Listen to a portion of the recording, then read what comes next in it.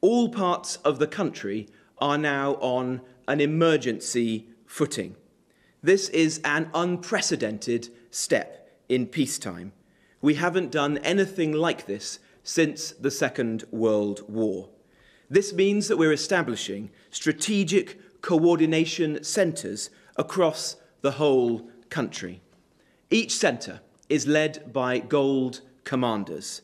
We're bringing together senior members of the emergency services, the police, the fire service, the ambulance service, with local authorities and the NHS to lead communities through this challenging period, from Cornwall to Cumbria.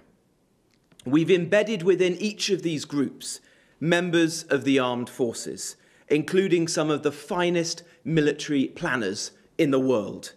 These groups are planning the local response to the virus, using their expertise, their judgment, and their leadership to ensure a comprehensive, a coordinated, and a consistent response across the country.